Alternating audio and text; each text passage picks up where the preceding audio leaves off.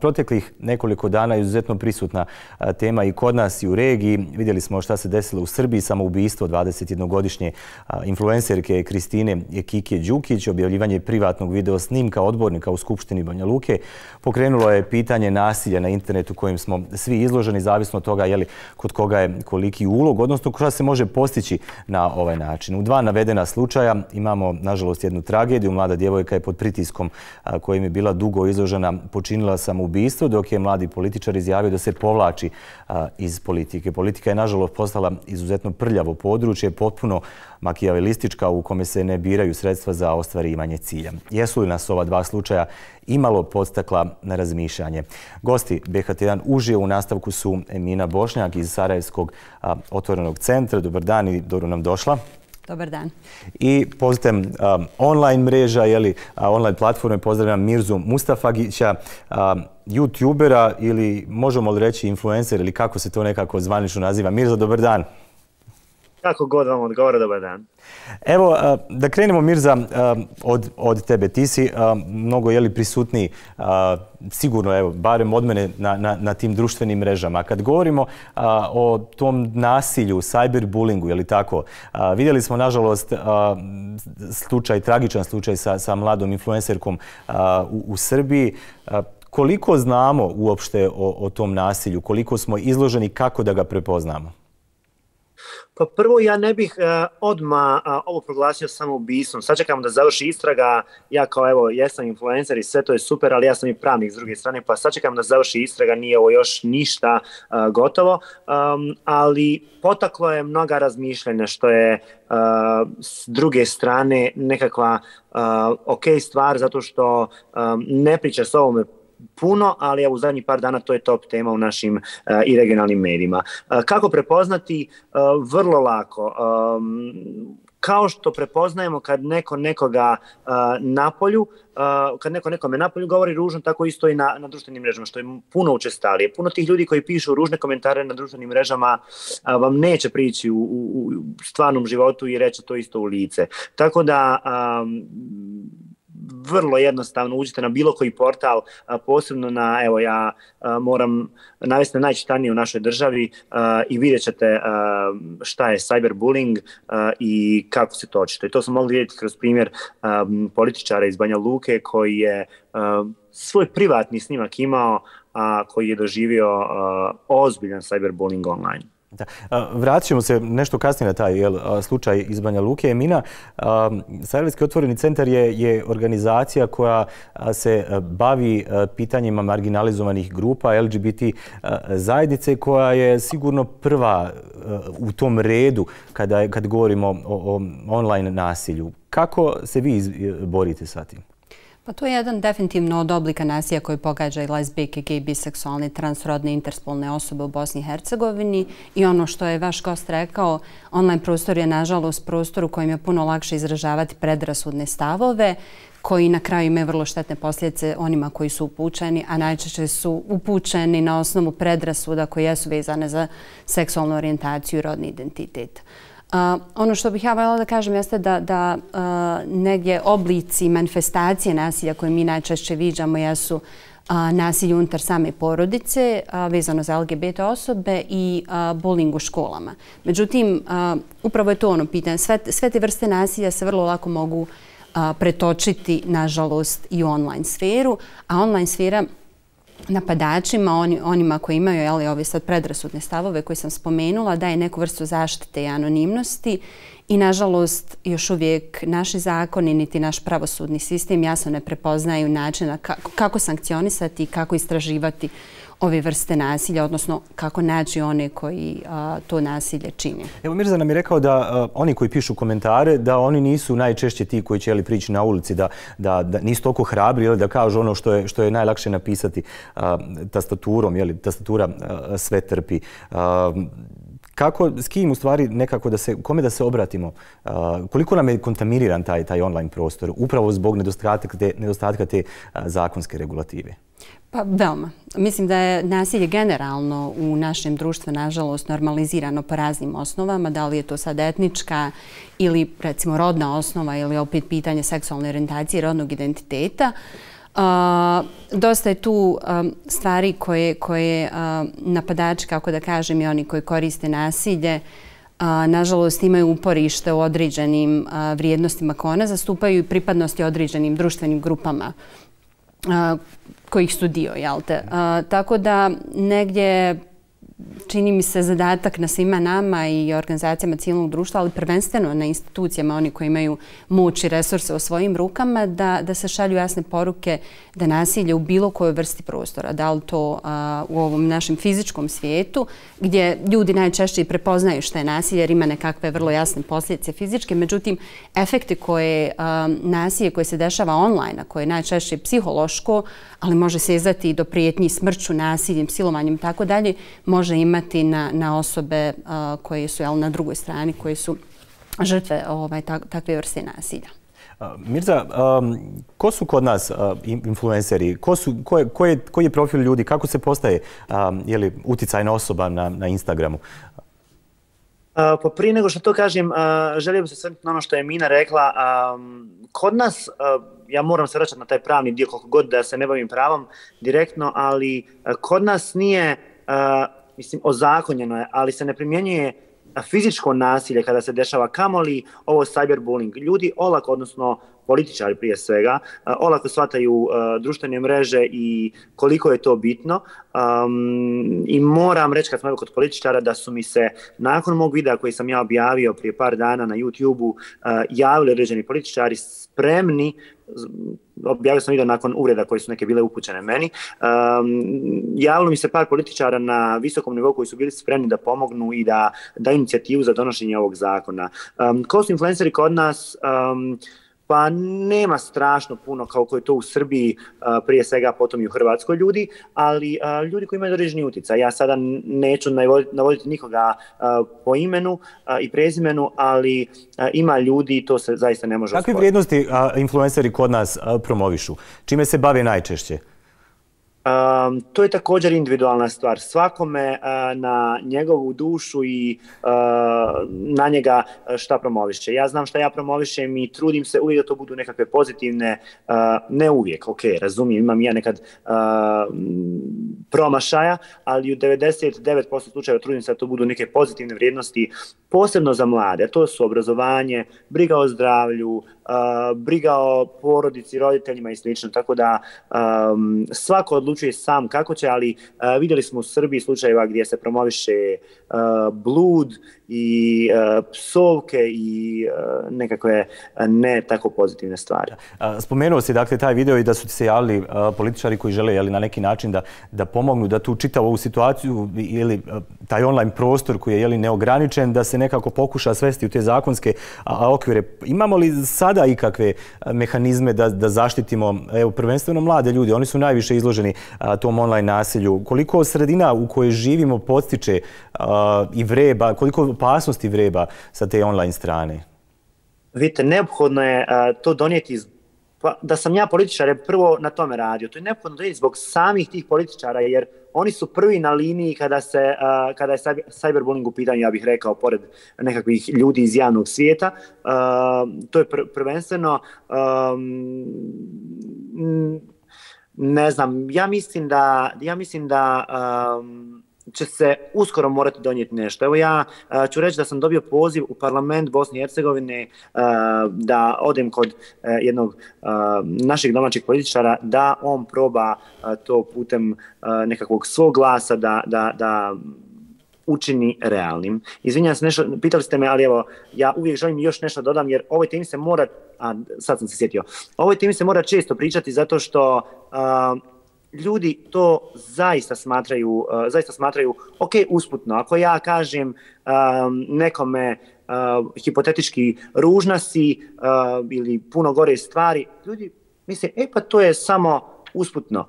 Ali nekoga to usputno može dovesti do teške psihičke faze gdje će on sebi možda oduzeti život. Zašto? Zbog uh, pet riječi koje ćemo nekom upisat, uh, napisati da, da uh, rizikujemo da se neko ubije. Mislim, mislim da nema smisla, vjerujte mi da, bi, da je puno ljepše, a i lakše reći nekome, e kako ti je lijepa majica, kako si uh, lijepo ošišan ili ošišana, baš si lijepa ili lijep, uh, neko šta ništa, vi ćete se osjećati bolje, a koliko god da to ispra, isprazno zvučalo, uh, probajte i uvjerite se ono što nekako sam... Da, što nekako je ta, ta mržnja i, i um, loše raspoloženje dominantna kod nas. Evo da, da, da se baš dotaknemo ovoga a, slučaja um, odbornika u Skupštini Banja Luke, čiji je, jeli, a, opet sada to se jeli, govori iz političkih razloga, a, je taj video se i pojavio, zbog čega je a, taj jeli, mlad momak doživio apsolutnu traumu, zbog čega je odlučio da se a, povuče i sa radnog mjesta, a, bez obzira što ne postoji bilo kakvi prigovor jeli, na njegov rad, doživio je sigurno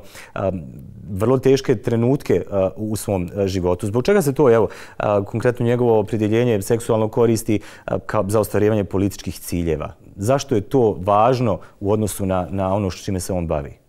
Pa vjerujem da su oni koji su ga ocjenjivali, koji su slali takve a, prijeteće poruke ili ocjenjivačke poruke, zapravo računali na to da je bivanje LGBT osobom još uvijek nešto što je ranjivost u našem društvu, da je to vezano za sram i onda iz te političke i vrlo jasnog motiva nekakve političke ucijene, targetiran je upravo on zato što se pretpostavila ili jeste njegova stvarna drugačija seksualna orijentacija odnosu na onu koja je dominantna. I to je, dakle, jeste jedan dio motiva je i takako vrlo politički i jasanje, dok s druge strane mi smo u našem političkom životu imali osoba čiji su se snimci sličnog sadržaja pojavljivali u javnosti, a te osobe su u političkom životu i u svom... Nećemo spominjati njihove ni moralne, ni, ni neke mene, druge ali su, vrijednosti. Ali su ovaj, zauzeli i, i, i glasali su ljudi na kraj za njih, ovaj, zato što se radilo o muškarcima. Reču, ovaj, u tom slučaju nisu korišteni drugačiji aršini procjene kakav to muškarac treba biti u našem društvu i, i, i šta to znači pripadati jednoj ovaj, skupini koja jeste manjina. Dakle, on je specifično targetiran a, zbog, zbog sadržaja snimka i zbog njegove evo ja sad kažem, prepostavljene drugačije seksualne orijentacije. I ja bih sam kratko ove, nadovezala na pitanje šta učiniti. Meni je zanimljivo ono što se desilo u ovom slučaju. Dakle, pilog cijeli priče jeste da je osoba koja je bila ucijenjivana, koja je bila žrtva a, nasilja i ucijene, zapravo primorana da, da, da u svojoj političkoj stranci da ostavku i da da čak i, i preda mandat u a, Skupštini grada Banja Luke. Politička stranka koja u tom momentu vrlo jasno mogla da kaže mi nemamo nikakav problem, ova osoba nije učinila ništa loše kao što nije, da stane u potpunosti iza, iza Ivana i kaže ne samo mi stojimo iza njega, nego i mi ne prihvatamo ostavku jer nema nikakvog validnog razloga da se to uradi.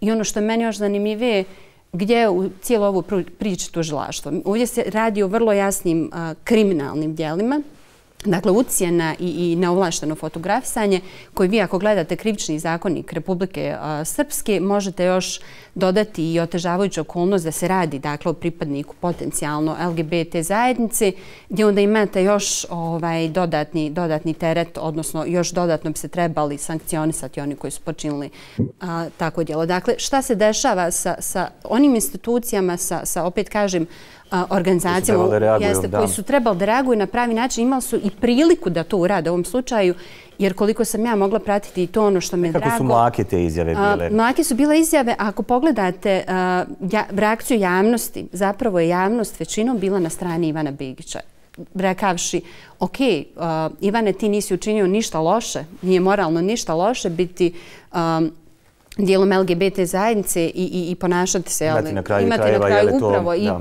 sve je to nešto što nije zapravo pogrešno, niti moralno upitno. Moralno upitno je ono što, nažalost, većina radi političar u Bosni i Hercegovini, to su različite koruptivne radnje i opet vraćam se ko su te osobe koje su, koje su zapravo ucijenjivale ovaj Ivana. I to, to su prava mjesta gdje se treba usmjeriti priču. Da, evo, evo Sarajevski otvoren centar je e, otvoreno ili stao sa, uh, podršku uh, Ivanu Begiću. Uh, I ono što je najvažnije da cilj koji je možda trebao da bude postignut, nije postignut.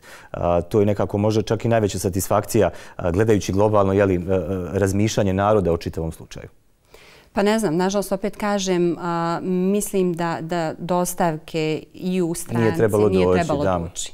Međutim, ja, ja ponovo kažem, tu odgovornost opet pada na samu stranku i na rukovodstvo te stranke, kao i na tužilaštvo okružno u Banja Luci, ne na samog Ivana koji jeste bio žrtva ovaj, takvog zločina, ja ću ga i tako i nazvati, ovaj, i, i, i čije uh, reakcije i, i, i sad aktivnost koju je poduzao u kontekstu predavanja tog, tog mandata nazad i ostavke, moramo gledati u, u tom kontekstu da je on mjesecima bio a, pod ogromnim pritiskom i, i da je nažalost, evo Samo, sad On sam u stvari najbolje zna šta je trpio i apsolutno podrška Ivanu za, za ovo sve što je jeli, i preživio i doživio.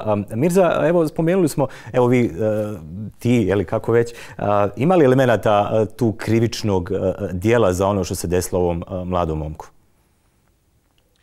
A, a evo, ja nisam tužitelj e, i e, ne mogu govoriti o tim stvarima, ali kao pravnik e, iz nekakvih stvari koje ja znam, apsolutno da. Ali s druge strane, e, smatram zaista da je bilo neodgovorno i ne moralno lijepo od e, njegovih stranačkih kolega da nisu stali iza njega.